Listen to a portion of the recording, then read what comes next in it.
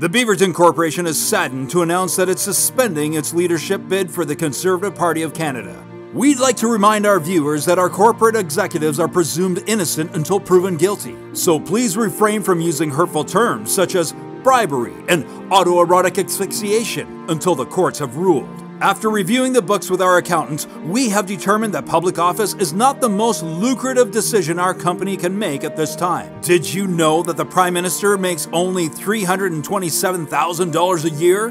Who would subject themselves to that sort of stress for such little pay? What sort of megalomaniac needs that kind of national adoration? Also, it turns out corporations are not legally allowed to lead a political party in Canada. Who knew? We have no regrets about our long 36 hour campaign, the majority of which we spent trying to sign up recently deceased Canadians as eligible Conservative voters and rifling through our opponents' trash. We know you don't recycle your styrofoam, Lisa. Even though we have ended our campaign, we still care about the future of the Conservative Party. The Beaverton Corporation is ready to endorse a candidate who represents true conservative value. Someone who wasn't afraid to take on Big Dairy and is by far the most charismatic of all conservative candidates. This tub of margarine.